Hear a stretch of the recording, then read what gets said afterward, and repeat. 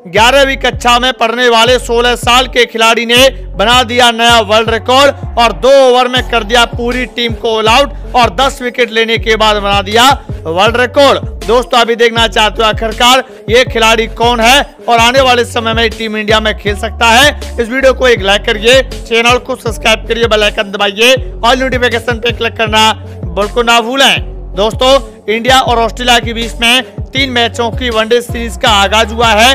जिसका पहला वनडे मुकाबला भारतीय टीम ने पाँच विकेट से जीता और दूसरा वनडे मुकाबला निन्यानवे रन के बड़ अंतर से जीत करके सीरीज़ पे कब्जा कर लिया।